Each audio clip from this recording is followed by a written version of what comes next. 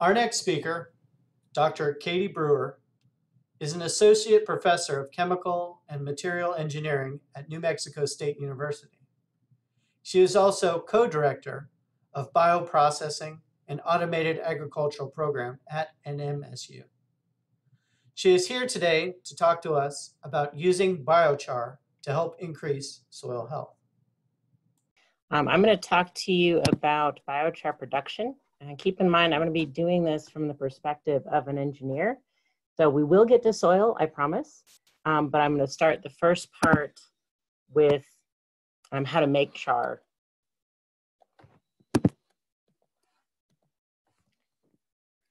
Waiting for my slides to advance. There we go. So I'm going to talk about what biochar is, how you make biochar, biochar quality, and what I mean by that, because it has many definitions, and then some of the opportunities and pitfalls of biochar. So first of all, what biochar is. Um, it's a solid material, so this is not a liquid, this is not a gas. It's made from thermal decomposition. Um, what's key to remember here is it starts from biomass. You're not starting from coal or peat or any other fossil source. This has to be a organic material of recent origin. And the key part with its production is that you have a limited supply of oxygen. So not necessarily complete lack of oxygen, but a limited supply, and you do it at a relatively low temperature. This is not combustion, which we will talk about in a minute. One of the other key differences, besides that it's made from biomass under limited oxygen, is that its primary use is as a soil amendment as opposed to a fuel or some other application. Now, there are other definitions of biochar. This is the one taken from the International Biochar Initiative. And so this is the one that I'm going to use the most often.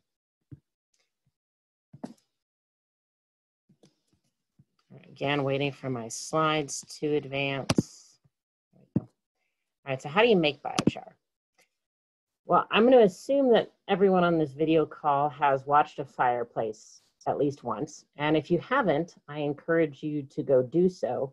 Uh, what I tell my students on a regular basis is that one of my favorite things to do is ruin common experiences for them. And so what we do here is we look at what happens to a fire as you place a new piece of wood on it. There are four steps to combustion, and there are some things that are going on chemically in the background, um, but there are also uh, processes um, that you can observe. So we'll start with heating and drying. Every time you put a new piece of wood on the fire, there's some amount of moisture in it, and it's also usually not at temperature. And so the first step, which requires no oxygen, just heat, is heating and drying. You're warming, warming the biomass up and you're driving off the moisture. If you're watching this, what you'll usually see is some amount of steam rising. What's notable about steam compared to smoke is that it's white and it dissipates quickly. The second step is where it gets far more interesting, and this happens around 300 to 350 degrees Celsius, so you have to get it pretty hot. And this is pyrolysis. Pyrolysis meaning pyro and lysis, so the use of fire to break things apart. This also does not require oxygen. This is just requires heat. And what's happening in this process is that you're taking the macromolecules that are in a piece of biomass, usually wood, so the cellulose, the hemicellulose, the lignin, you're breaking it into smaller pieces. And then those pieces are decomposing even further. And what you'll see coming off of this, this is where the smoke becomes yellow or brown and it doesn't dissipate. You can see this, it'll go up in the air and stay there.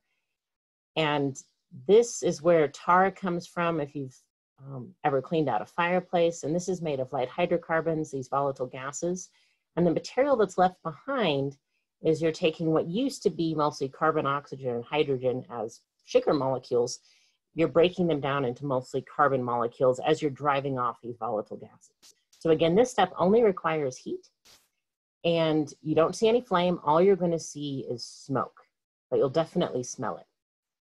The last two steps of combustion are where we finally need oxygen. This is flaming combustion and char combustion.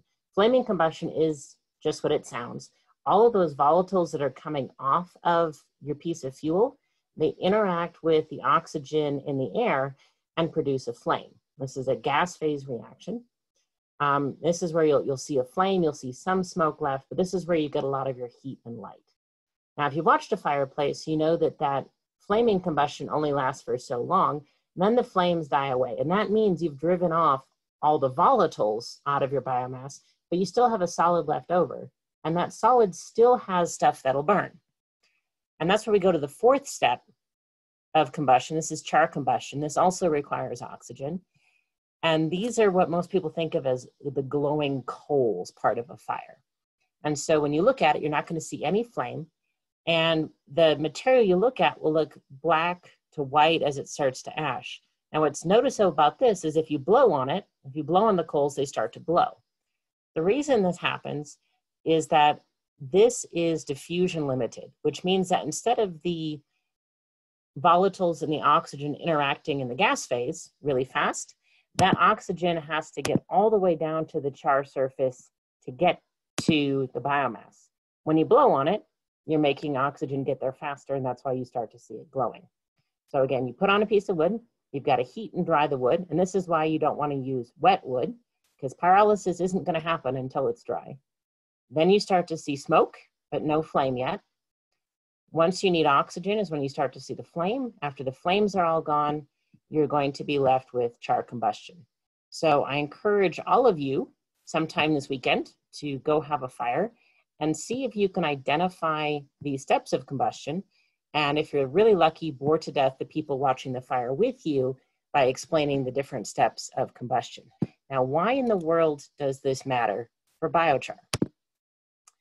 Well, this is slow pyrolysis is how charcoal was traditionally made. And what happens in this process is combustion. What we're trying to do is we're trying to go through the first two steps. We need to heat and dry it. We want to drive off the volatiles and condense the solid, but we don't want to burn it all away to ash. And so we're trying to stop after the second step. However, we still need heat. And so the way charcoal was traditionally made is that you would have a fire and you would just limit the amount of oxygen available so that combustion does occur, but only enough to provide the heat to drive pyrolysis. And so you would pile up wood, you'd put some kind of covering on it, you'd control how much air went in and out to control the temperature and the amount of fire, you'd have some place for all the smoke to escape, and eventually you would be left with your char. So once you've done with all the flame part, you cover it over and you let it cool down. Uh, more modern times this is done as a continuous process and you have all of the stages going on throughout. You've got the three the four stages of combustion. You put your biomass in at the top, it dries using the heat that's coming up from combustion, it starts to pyrolyze. Then you get to the part where they add oxygen. And so this is where you have flaming combustion and char combustion, which burns up just enough material to drive the heat. And then you cool it off and you have charcoal come out the other end. All right, when you're making this, your biggest issue is that smoke part. This is tar. So this is inside our lab scale reactor, and you can see it makes quite a mess. If you're going to make char correctly, one of the key things you want to ask the person designing the reactor is what are you doing with the smoke? What are you doing with the stuff that'll become tar? In a well-designed system, the volatile gases, all of that smoke will be sent through some kind of secondary combustion so either it's a flame somewhere else that it gets passed through or even be recycled through the char material. You should not have a lot of smoke coming out of a reactor if it's well designed. You want to be burning off all of that tar. All right, so if you're going to control this process, and as engineers, we're always interested in what we can control and how to do it, there are several parameters that affect what you get as a product, whether it's a solid, a liquid, or a gas, because you're going to get all of these phases in your reaction. First of all, it depends on your feedstock. What is the ash content of your biomass? Because that ash is all going to go into the char. And your moisture content, because remember the first stage is heating and drying. So this will determine how much energy you need to dry your material in the first place. Then you've got your temperature of reaction, the heating rate, and the residence time, how long it sits there. So if you put all of those factors together, we get what my group does, and that's thermochemical processing in general. And all of these different processes have different temperatures that they go to, different heating rates, different residence times to produce primary products. So torrefaction, for all of you who drink coffee, uh, this is how your coffee beans are made. This is a roasting process, makes it nice and easy to grind and very tasty. You don't want to do slow pyrolysis on your coffee beans because this produces primarily char. In a good slow pyrolysis reaction, and slow means it's going to take hours to days, you should get somewhere around 25 to 33% char, depending on your feedstock and your temperatures. Fast pyrolysis is how you make bio oil. Um, we don't do that very often in the biochar world. It does produce some char, but not a lot. The other one you'll see in commercial systems is gasification. This is slightly higher temperature and this they allow more oxygen in so you get more combustion. The primary product there is the syngas used for heat and power, but it also does produce some char.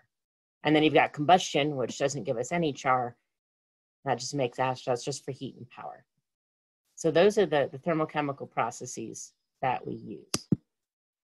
So we made some char. Now what do we do with it? Uh, traditionally, you have these wide variety of uses for char. Um, most of the time, we would use it as a fuel. So this is the charcoal that you put on your barbecue grill. Uh, you can burn it, you can create electricity from it, you can gasify it to produce syngas for chemical reactions. It's a fuel. Sorbent, if any of you have a Brita filter or a fish tank, you've probably seen char yours used as a sorbent. So water purification, glass purification, also site remediation. We've got a couple of projects now looking at the use of char to absorb heavy metals in legacy mines. Um, and then you've got what we're talking about today, which is char used as a soil amendment and for carbon sequestration. So it's mostly the same material. You tweak what the parameters of production are and what the properties of the char are, depending on how you're going to use it. So here's some traditional uses. But many people ask me, is char, is biochar just charcoal? Well, it could be, but if you're using it on soil, that's when it would be called a biochar. All right, char quality. If you remembered nothing else from my talk, I want you to remember what's on this slide. And that is that no two chars are the same. When people say biochar, they're not talking about a single material. They're talking about a range of material with different properties. So how do you determine what's a good biochar versus not? High quality biochar is as follows. And these are all things that you should be able to look at without any particular kind of instrumentation. So first of all, it should be black. It should not be brown, because that means you underbaked it. It should not be gray or white, because that means you overbaked it. You did too much combustion, and now you've left with ash. It should be black. It should be consistent. So you shouldn't have a mixture of brown pieces and black pieces and gray pieces. It should look the same from piece to piece. Go ahead and pick it up. If it's been made well, and if the person designing it, designing the reactor did a good job of venting the gases, it should be powder on your hand. It should leave a black powder on your hand, but it shouldn't be greasy. It shouldn't stick to your hand. That, that powder should wash off easily. Should also not be smelly. You pick up char and smell it, you might get a tiny barbecue smell, but that smell should be very faint. And if you have it greasy or smelly, that means those volatiles, that smoke, that tar that was created, that means they got stuck to the char. And you don't want that. Um, it should be friable. That means it's easily broken apart. So you should be able to pick up a piece of char, break it with your hands, and that means you've driven off or you've condensed a lot of the carbon that was making it bendy and flexible.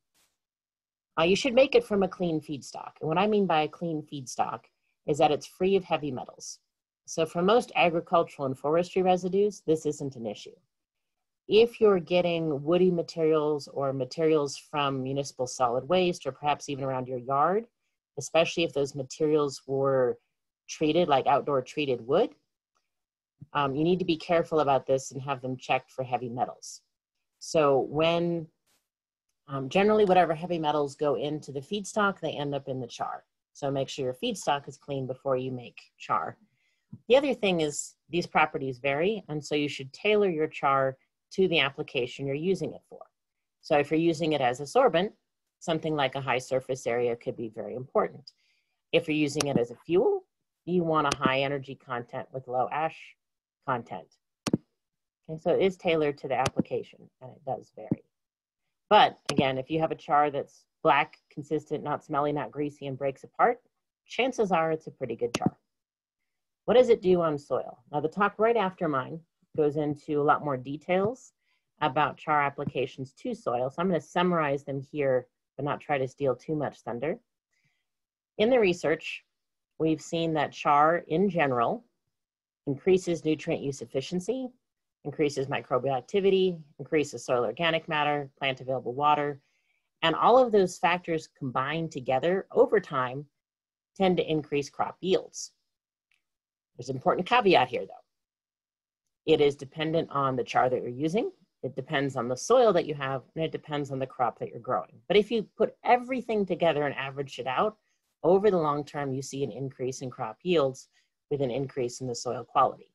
Now, adding char, because it improves your water and nutrient use efficiency, you might be able to use less. It affects the aeration and the water holding capacity in the soil, which can decrease greenhouse gas emissions from the soil. Um, as an absorbent, it does tend to absorb nutrients, especially cations. It can prevent nutri nutrient leaching. And because it is light and fluffy, it can decrease soil bulk density. So if you have a very heavy clay soil, sometimes addition of char can help with that. We've also seen char being used in potting mixes for this reason because of its high porosity and lower density. All right, the second takeaway message, if you remember nothing else, so remember that chars are not created equal. Also remember that char is a soil amendment, not a fertilizer. So fertilizer implies that it provides plants with the nutrients that it needs, the macronutrients, the micronutrients, and that you're going to see an effect of those nutrients in the short term, ideally in that growing season. That is not biochar. Biochar is a soil amendment, which means it is added to change the soil properties. The char still might have some nutrients in it, which can create some short-term effects. So especially if you have a soil that may be low in calcium or magnesium and your char is high in calcium and magnesium, sometimes phosphorus, we've seen that too, you can see a nutrition effect. But most of the impacts of char are going to be in the long-term soil property effects. All right, biochar in the Southwest. So opportunities and pitfalls. Um, as most of you know, we have a lot of biomass here in the desert. And we've got a lot of pecan shells. We have a lot of pecan prunings. Over here in the right upper left, you can see we've got cotton gin trash. Um, we do have yard waste from our cities, and I think all of us are familiar with what's in the bottom right. We seem to have an infinite supply of tumbleweeds. We have a lot of biomass available from which you could make char. Now, many people have come and gone with business ideas for how to make biochar, and many of them get started but don't last very long. And the reason is that to make a biochar system economical, you usually have to incorporate three factors. Usually, you have to have a waste that you want to get rid of to begin with. This means that you've got a low cost, abundant feedstock. So that's a plus. There is some additional heat that is given off from pyrolysis. Remember, we're burning the volatiles and the non-condensable gases. You want to be able to use that heat. And some people will convert this to power. It doesn't produce a lot, be very small and you want to create some carbon products, whether that's for soil applications, absorbents, etc.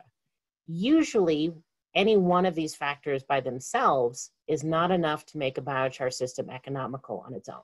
Usually, the economical systems are ones that combine all three. And so, if you're looking for a biochar opportunity, think about where do I have a waste feedstock? Can I use the extra heat and power? And what range of carbon products can I make? All right, potential pitfalls. These are my last two slides. And as an engineer, I feel a responsibility to give you things to look out for. Uh, number one, look out for undercooked char. This is char that's brown. The problem with undercooked char is you're gonna be adding lots of bioavailable carbon to the soil, but you're not adding a lot of nutrients. Remember, it's not a fertilizer. And so you might have microbes eating up the carbon and scavenging the soil for nutrients which can inhibit your plant growth in the short term. If the reactor is not well designed to deal with the volatiles, you can create smoke and air pollution. Char making used to be one of the most dangerous occupations because of breathing in all the smoke. So whenever you design a pyrolyzer, you need to design it well to burn off the smoke to prevent air pollution. And you don't want those volatiles on the char surface as some of those can inhibit seed germination or growth. You don't want to start with a contaminated feedstock. So again, any heavier toxic metals in are going to be heavy and toxic metals in your biochar. And you need to control your oxygen. If you have poor oxygen control, you could end up burning off most of your carbon and then get a low yield, um, or just you lose most of your carbon. Char, one of char's biggest problems for application to a soil is dust. So if you have small particle sizes, it can make a lot of dust. Um, many times people will mix char with a compost or with water or some other kind of liquid to cut down on the dust management. Um, but this is a combustible dust, so you need to be careful about that. The other part about combustion is we know that char works very well as a fuel. When that char comes out of the reactor at the beginning, it is very hot and those surfaces have not been exposed to oxygen in a long time. And so as soon as they're exposed to oxygen, they're gonna have these little tiny char combustion reactions. Now, if the char is cool to begin with, those oxidation reactions happen slowly. There's tiny little pockets of heat on the char, no big deal. If you don't cool down the char first before you expose it to oxygen, so say you pack it directly into a truck, you can have a fire. And so make sure you cool it down well. When we make this in the lab, we usually empty our char into a paint can, seal up the paint can until it's cool, open the paint can, and if it ever starts heating up again, close it immediately to prevent combustion. Because remember, charcoal is originally used as fuel, so I can promise you from personal experience, it does burn very well. Um, high ash content. There's been some talks earlier today about soil pH and salinity. Um, this can be a problem in desert soils. So any of that mineral material that's in your biomass goes into your char. And so many, much of that can have a high soil pH. So if you have a high pH soil, you need to watch out for this. If you have a lot of sodium in your biomass, that sodium ends up in your char. Again, can end up in your soil. And high salt content in general if you're worried about salinity. So be careful about this. What can help with some chars is rinsing them before soil application to remove that easily available salt. Um, we have the oxygen, high purchase costs. So as I mentioned before, you want to think of the overlapping synergies to make the economics work. We don't have a lot of field study information on biochars, and it does change with certain soils, certain biochars, and certain crops. And so keep in mind that there's going to be some level of experimentation as you apply this. We know in general that biochars are good for soil, but when you try to identify what kinds of benefits and how much you're likely to see for a given crop, um, we don't have that information yet, or at least not very much. And so that's what I have to present. Um, so you learned how char was made and the four stages of combustion and how we control those stages of combustion to make char that we want, what makes a generally high quality char, and some of the opportunities and pitfalls for using chars on soils in the desert southwest. So I think that's all I have. I'm going to check the chat and the Q&A for questions. Our next speaker, Dr. Ataullah Khan, is the Senior Research Scientist at InnoTech Alberta, a group that facilitates the conversion of applied research to economic, social, and environmental benefits for Alberta. He holds four patents in biochar technology and has published many research papers regarding this topic. Yeah, uh, my name is Ataullah, and uh, I work for InnoTech Alberta, which is a provincial research corporation of uh, government of Alberta. Our mandate is to promote economic diversification as well as generate uh, alternative revenues, uh, which are, when I say alternative, it is more non-oil, non-gas, mostly uh, on the ag, food, municipal sectors. And I have been with the organization for about eight years now. And we have been fortunate enough to be uh, doing, uh, to have had an opportunity to work on biochar application development. And uh, I will be presenting some of those case studies, and this will go uh, very much in line with what Catherine has just spoken. I might be just uh, browsing on some of the things that she has spoken. It was a wonderful primer to uh, be uh, starting my conversation here. Uh, InnoTech Alberta is a, it's almost a hundred year old organization. Uh, we have changed our name over the course of the history, but I won't be going into that. But yeah, just to say legacy wise, we are a legacy corporation of Alberta Research Council.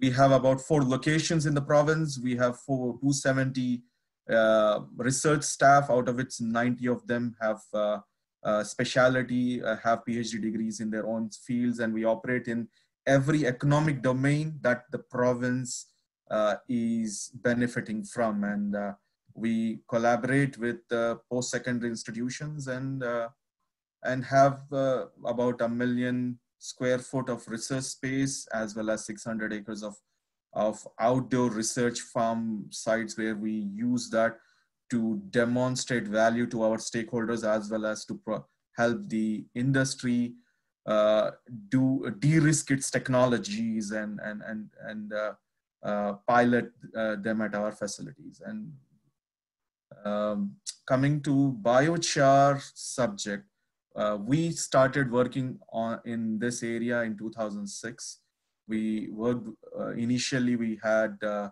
worked with uh, in collaboration with alberta agriculture dr nick Savidov who has moved now from alberta agriculture to lethbridge college has been one of the pioneers in introducing a lot of alternative grow medias into the province so uh, and again when i say grow medias our focus has mostly mostly been on hydroponics and aquaponics so uh, and Dr. Savidov happens to be an, a world-renowned expert in hydroponics, aquaponics, and in vertical agriculture, indoor, vertical indoor agriculture. So we, we started in collaboration with him and we have conducted several greenhouse studies using biochar.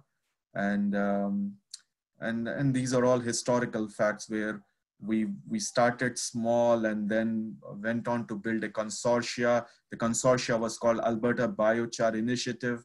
It ran for about five years. We have generated a humongous amount of data in this subject area which is which i which i found to be unique uh, and uh, i will go through this as we go as in the course of that 14 15 years of our work on biochar we have built our own carbonizers. Slow intermediate fast pyrolyzers or carbonizers. We have built our own systems and uh, which could be batch and continuous as you saw in this previous slide here. The one on the top uh, uh, left is a continuous system. The one in the bottom is a batch rotary drum carbonizer uh, from there, we went on to acquire mobile carbonizers. So these can go in field and produce biochars of premium quality. And these are available for our clientele and including the consortia in, in, in United States to be, uh, you know, acquire, uh, to be leasing them from us and using them in, for field biochar production. Coming to biochar, biochar is a very generic term. It's a very, as Catherine has already emphasized, it's uh, uh, it is no different from charcoal except for the fact that when it is used for soil applications or uh, applications where you are trying to benefit the environment, that is where the same charcoal now is termed as biochar. It has to be thermally converted rather than thermally altered so it has to be properly devolatilized so that all the volatile matter content has to be uh, uh, removed so that it becomes friable, it's free from volatiles, it's free from any toxic organic compounds. Feedstock quality plays a very critical role in the ultimate quality of char. And we had the opportunity and the fortune to be producing chars from every possible feedstock that we could find in Alberta. We have looked at all forestry residues. We have looked at coppice residues from uh, coppice plantations. We have looked at agricultural residues. We have also looked at municipal uh, urban forestry residues like grass cuttings and lawn cuttings, etc.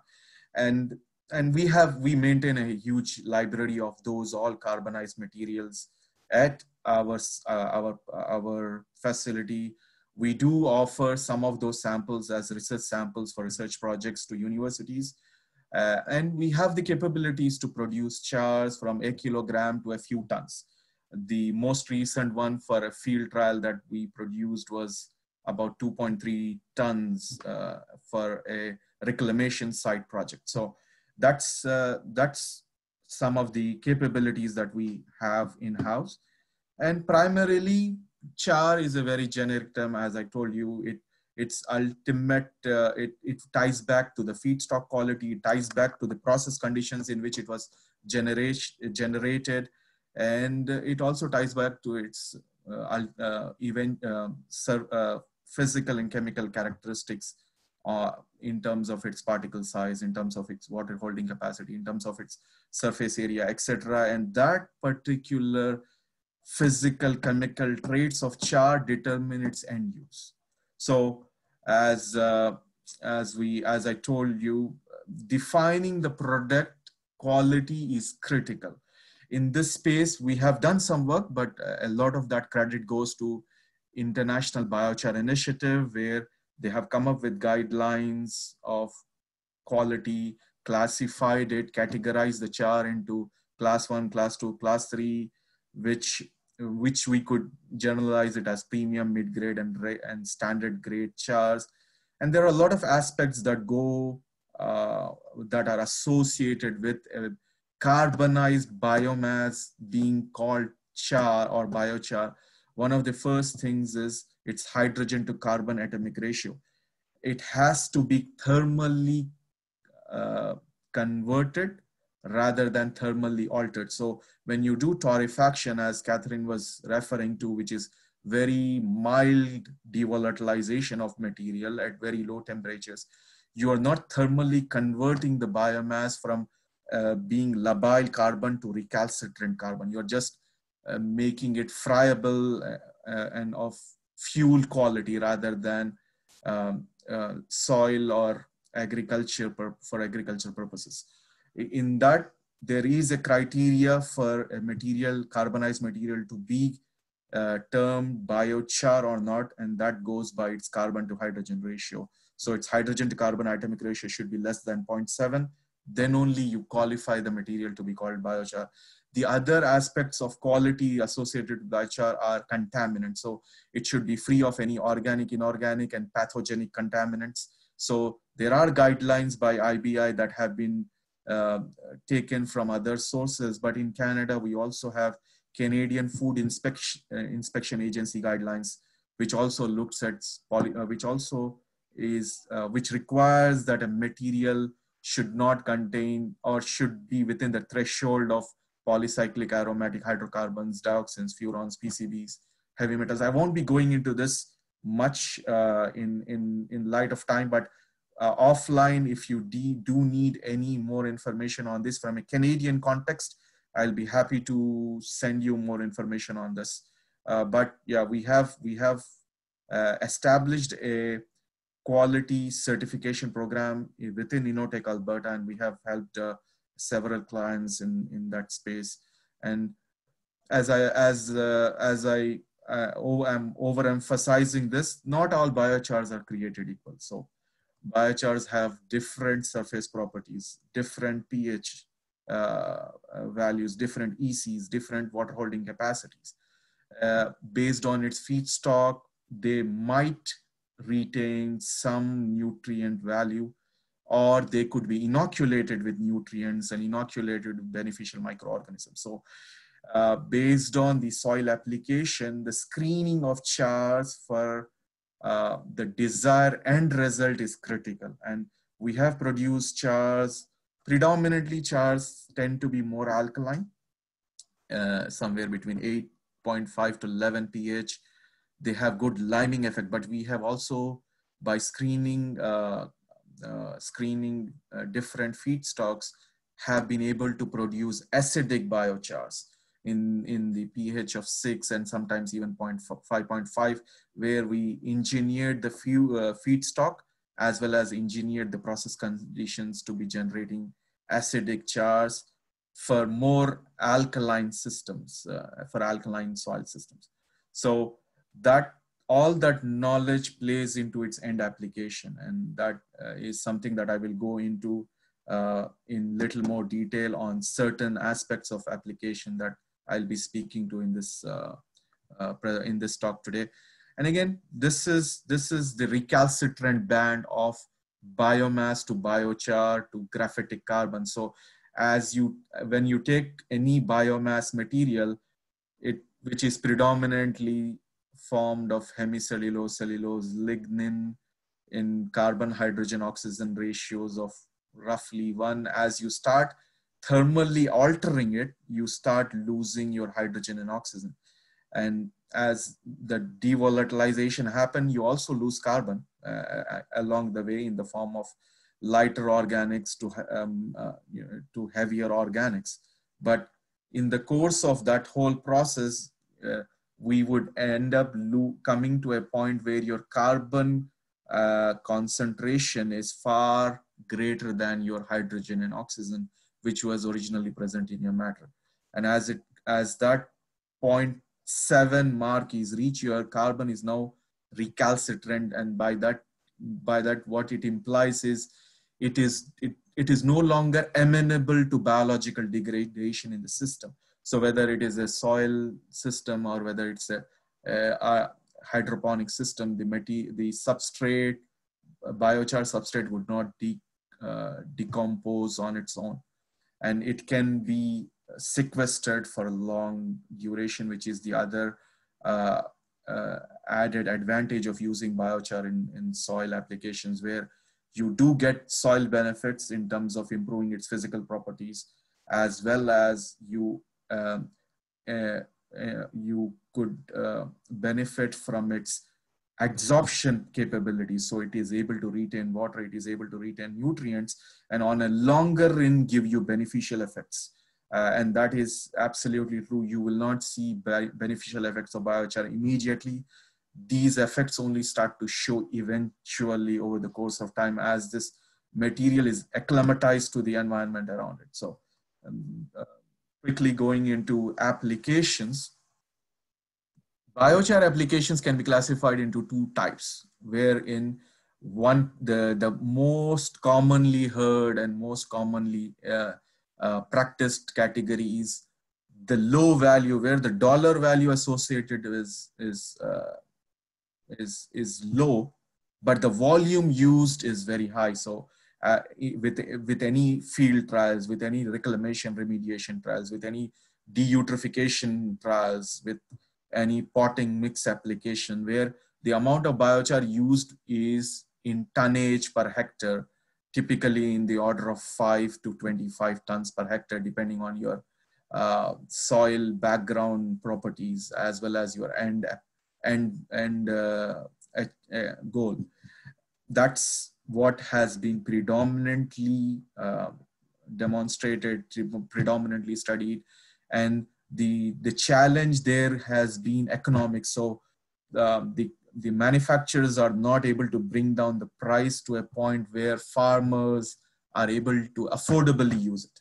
So that's the low value, high volume end, and we have done some work in that space. But our primary focus has been on higher dollar value, less volume application where you produce premium quality chars from premium feedstocks and then you also extract premium uh, returns on your investment and then also uh, are able to uh, get maximized return from the use of the char in those systems. Our, our focus has been in hydroponics primarily, so that's uh, food production in indoor, especially for the climates that we live here in, in, in closer to Arctic. We have also been uh, involved in a multi-million dollar study on char use as cattle feed supplement. I will talk about that in the end. Uh, inoculant carriers, odor control agents, activated carbon replacements, and etc. which are more on the, uh, uh, the activated carbon replacement, mercury capture, uh, and functionalized carbon. This That's more on the absorption end use of biochar, where biochar has affinity towards certain contaminants, biochar has affinity towards certain nutrients. So you could tailor its functionality to the end use. And we have worked in that space and have demo successfully demonstrated use of wood-based carbons in, in those spaces. And we will uh, briefly be talking about that here. Let me uh, go to the main core of today's uh, subject, which is biochar use in hydroponic food production systems. So as I told you, we have been opportune to be one of the pioneers in this space. We started working in this in 2006.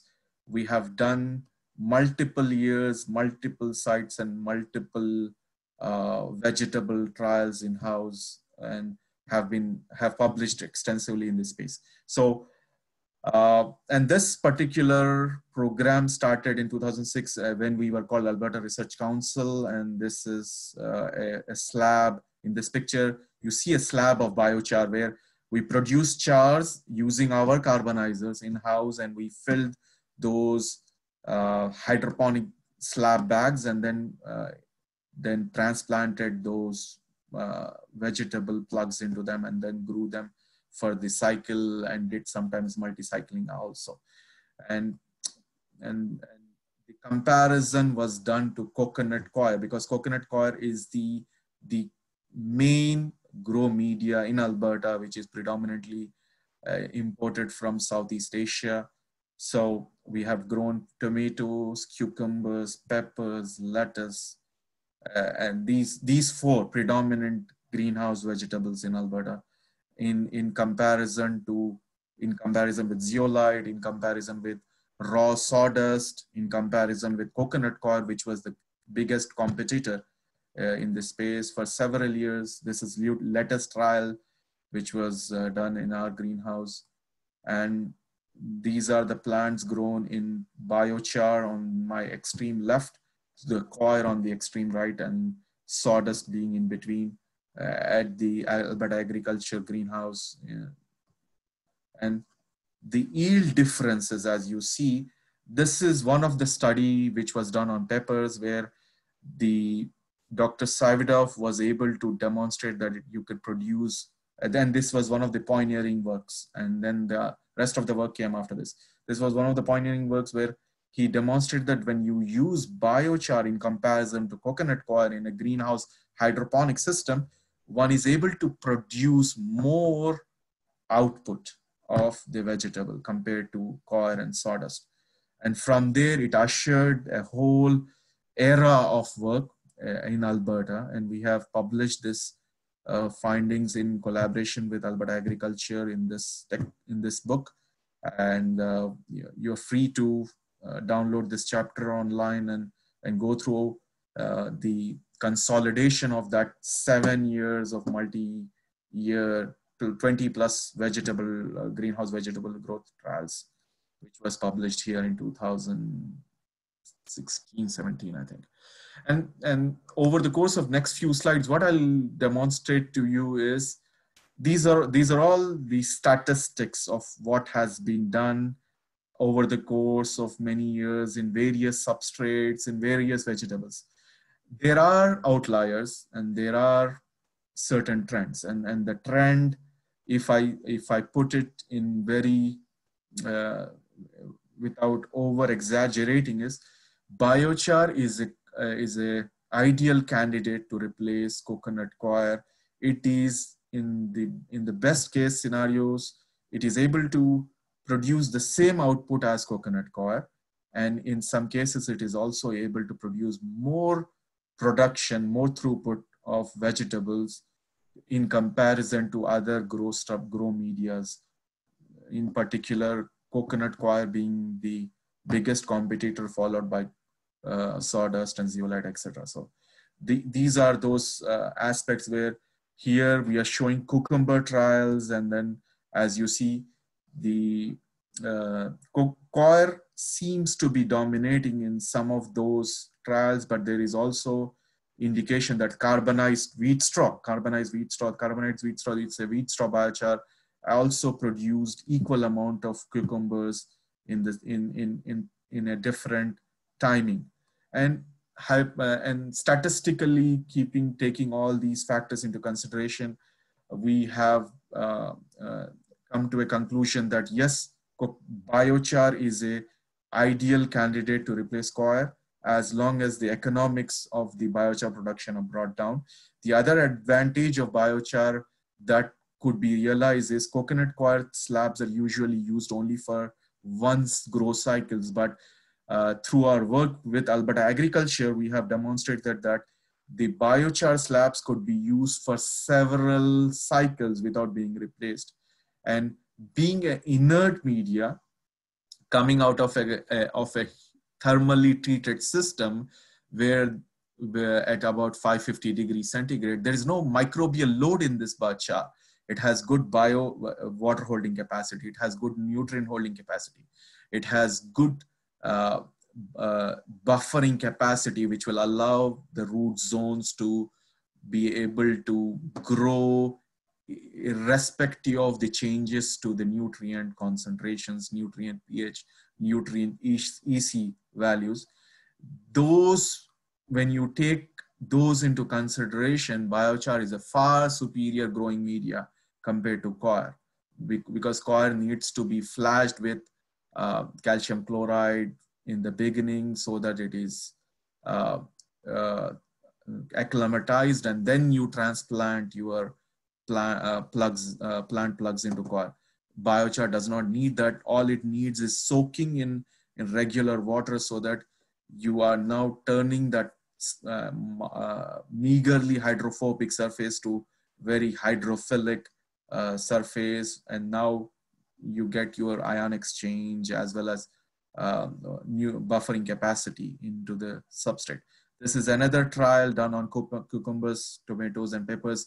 This was done in Kwantlen Polytechnic uh, in Surrey, BC, which also collaborated with us. And here clearly demonstrated that when you used biochar produced from sludge, uh, uh, pulp sludge, and uh, pin chip mixture or a combination of two, you could produce equal throughputs of vegetables in, in greenhouse setting. And the reason why we were using these feedstock was these studies were sponsored by a pulp mill, Alberta Newsprint Corporation uh, funded all this work on these feedstocks. They were looking at diversifying their waste streams and producing value-added products after that because their pulp sludge, which was thermomechanically produced, was a burden to them. They they were disposing it out at, at certain cost. So they wanted to see if they can produce that, convert that into premium quality chars that could be used in greenhouses in Alberta. Uh, from a scientific technical perspective, we have proven the efficacy of those, but unfortunately, they they they, they are still in the process of building a plant to produce those chars. This this is was another study done. Uh, at uh, another site and on uh, peppers and mini cucumbers, etc. So this, the, this, the, you, you could, you will be able to find all the statistics. I don't have to go through this uh, uh, in great detail here, but uh, I will be happy to share this, these publications to, uh, to the participants who are further interested in exploring these. And, and this has assured a lot of work in this space uh, one of the few things that are happening now in, in the province of Alberta is we people are trying to grow high THC, high CBD cannabis strains in biochar. And we are doing those research trials in our armored greenhouses and armored growth chambers in, in, in, our, in our facilities. And we are giving them the, the feedback that would uh, be used for them to scale up in their commercial greenhouses. And those things I will not be able to share with you except for uh, saying that yes, biochar is actually a, a very potential uh, candidate for producing cannabis in an organic setting, uh, producing organic cannabis in a greenhouse uh, setting in comparison to fish meal and in comparison to other soil mixes. It has an, a higher advantage and that is what we have found in our studies. Here, this, these slabs were used for seven years by Dr. Savidov at Alberta Agriculture Greenhouse in North Edmonton. The, the picture depicts what happens to a slab, what happens to, we, we have documented the productivity in that publication that I'm talking about, but here I'm trying to depict the comparison of the biochar slab. The biochar slab is able to maintain its integrity. It does not compact or collapse over the course of time. So it, which gives you this uh, in, in inference that, you know, the roots are able to thrive uh, and are able to be healthy and are not susceptible to any root diseases in the grow media. So over the long run, it actually would have a higher payback for using biochar grow media compared to uh, uh, coconut coir. Uh, on the algal control side, being inert, being uh, uh, you know uh, free from any microbial load, it, it does not promote any algal growth in in the substrate. So that's another added advantage of biochar use in greenhouse food production. Then another interesting aspect that you know Robert also was uh, very interested in. Of course, we have not done a huge amount of work in this space, uh, but we are receptive to doing more work based on the uh, based on uh, support from our clients because most of the work that has been pre presented here is all supported by by somebody who would champion this study. We we play a very bipartisan and uh, role in actually demonstrating scientifically the efficacy of those. Uh, and uh, these studies are all funded by third party partners.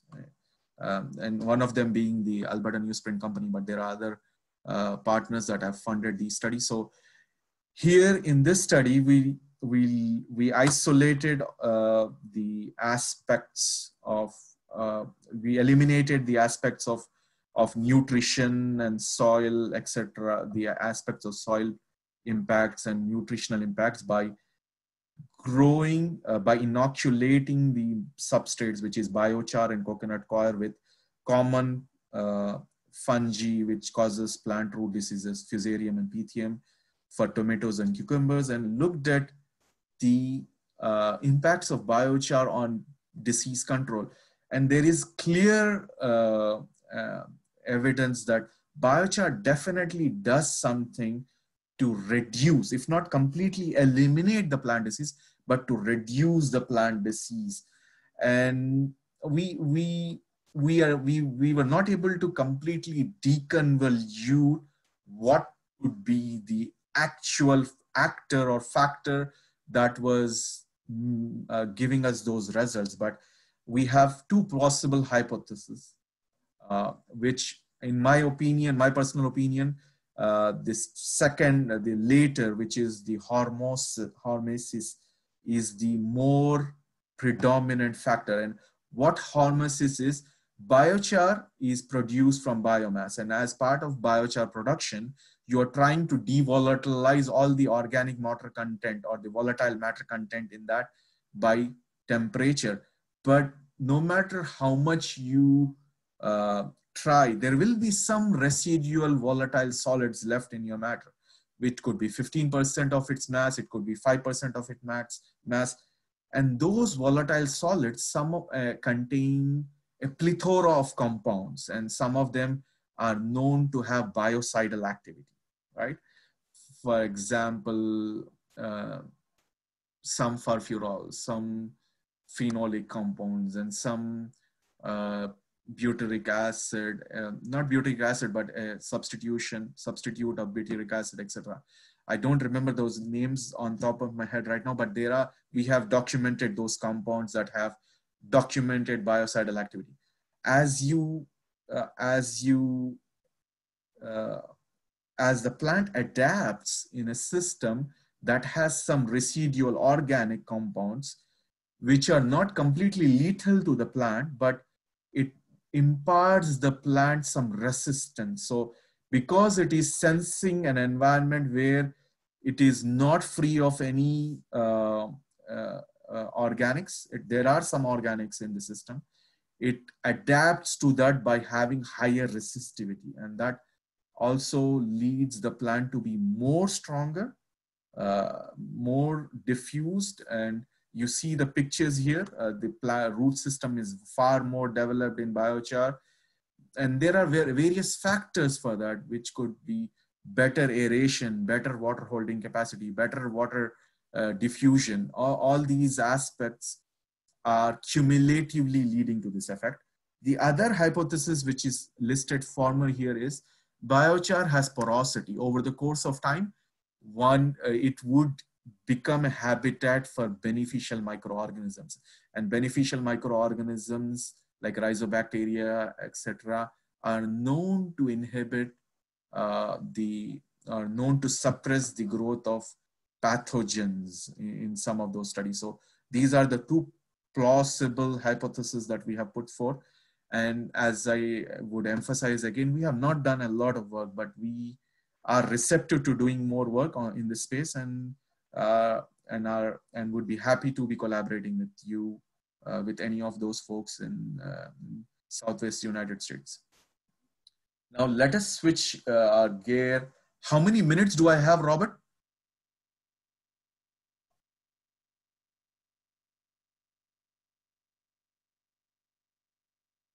All right. Uh, quickly going through other application development of biochars in the space of value-added products. So inoculant carriers, as we all know in agriculture, peat, eh, peat granules are used typically as inoculant carriers. Typically for solid inoculant carriers, peat is, is a common candidate we have worked with certain multinational companies to be developing biochar based inoculants. These are these have been commercialized in US uh, this uh, last year, and they have been commercialized this in Canada this year. This was done way back in 2014, where we we started with a few kilogram prototyping work, and then went up to produce about a ton of material for the client so that they could go and do some field trials and do some product distribution. And this is a commercial success. And we have capabilities of making multi-tons of material and, and formulate uh, packages, nutrient packages, inoculant uh, packages, and etc. In, in, in, in our facilities at InnoTech Alberta. Uh, this is another odor control agent application that we recently finished for a client we did 15 metric ton trial uh, for them where they had a substance which was an organic fertilizer coming from their operations which was very which contained some extremely potent odorous compounds related to thiophene, thiophenes and benzothiophene, etc., or some other compounds that had very high odor, which was causing them, which, which had beneficial nutrition, but was causing a lash uh, backlash or you know uh, from their clients. And we have successfully incorporated biochar to control that odor in those systems. As a result the material is uh, no uh, has no odor and again uh, is able to also retain that beneficial nutritions for longer time. So it's able to give some slow release function to it not not completely but this is what we have done. Again, as, as aspect of waste valorization and waste residual diversion, uh, wood ash. There are wood combustors around, uh, around North America, especially associated with forestry mills. They, they use their residues to produce their own electricity and heat, and they uh, end up have producing some ash, which is rich in carbon content. We, have we are working with FP Innovation, which is Forest Products Innovation Canada, on a multi in sector, multi industry project at looking how could you use that waste residue and then use it for producing liming agents, use it for producing uh, materials then which could be used in greenhouses and potting mixes, etc. So that's something that we have uh, done for the last couple of years and the results are very promising. It, the material is able to meet the threshold toxicant concentrations or uh, regulated by CFIA. So there is, uh, there is more greenhouse trials to be conducted in this space. Finally, I will, uh, I will start wrapping up my talk here.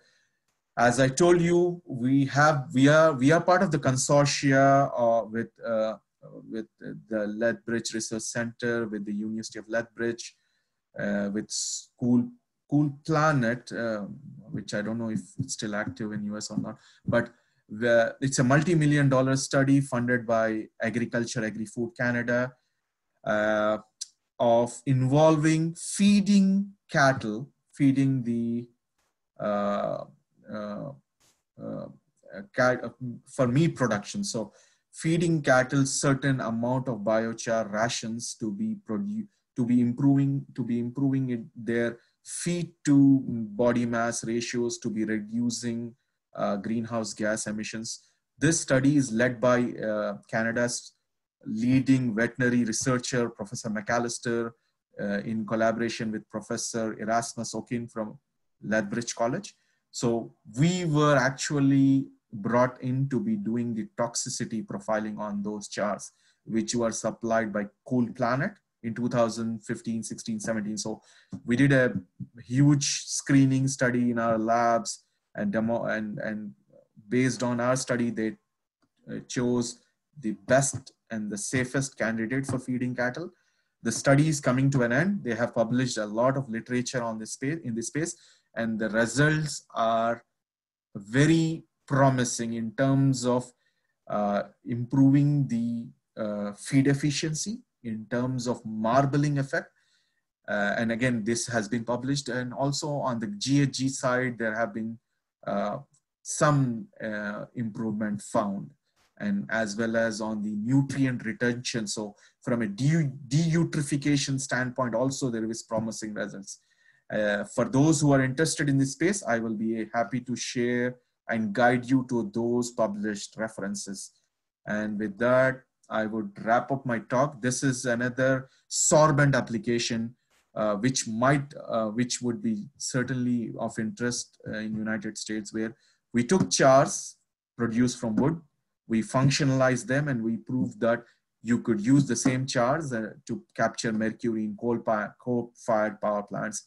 In collab, this was done in collaboration with Capital Power Corporation at their Genesee power plant wherein we took commercial activated carbons from Darco and compared our char, biochar, which was produced probably at one fifth of the cost of that Darco sorbent, and proved that yes, it is equally potent in capturing mercury from coal fire power plants.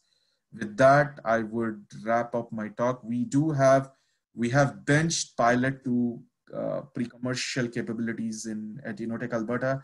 We do have a steady stream of US clientele and we'll be happy to engage with more uh, through the uh, uh Arizona University Consortia on the South uh, on this Southwest Soil Health Forum. With that, thank you very much, and um, I'm, I, I'll I'll be happy to take some questions.